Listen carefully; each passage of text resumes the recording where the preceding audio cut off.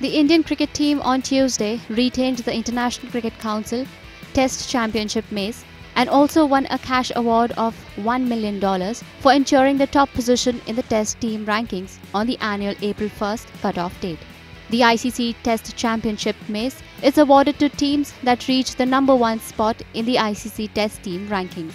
Skipper Virat Kohli received the mace and check from ICC Cricket Hall of Famer Sunil Gavaskar at a ceremony after the fourth and final test against Australia here in which Ajinkya Rahane led the side as Kohli could not play due to a shoulder injury. India had entered the series against Australia needing to win at least one test to retain possession of the prestigious mace, which it had reclaimed following the Indore test against New Zealand in October 2016. Commenting on the achievement, Kohli said, We are absolutely delighted to have topped the ICC test rankings.